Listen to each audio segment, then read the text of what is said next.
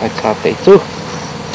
民众发现路旁山林又遭随意弃置大量垃圾及废弃物，马上通报里长，请清洁队前来会勘了解。此处位于埔里镇合成里寿山尾地区，因为地处偏远，除了当地农民，少有人出入，成为弃置垃圾及废弃物的天堂。我就在清理路旁的那个积水，然后发现下面有大量的垃圾，然后就跟里长提起，哎，要叫里长请那个有关单位来。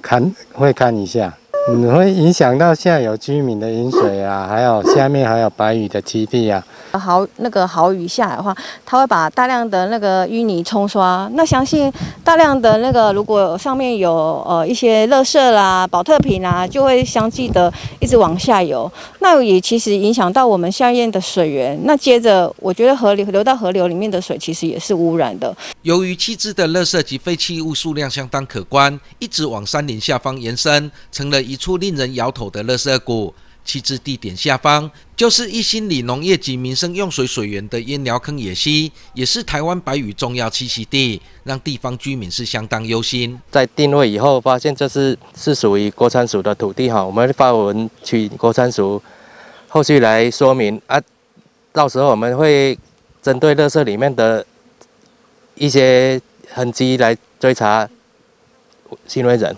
垃圾车都会来，那我觉得也还蛮纳闷的，为什么不把它丢到垃圾车去？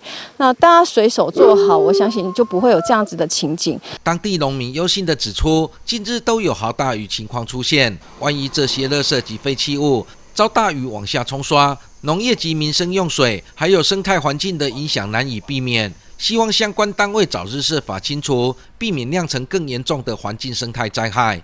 记者王昭胜南投县采访报道。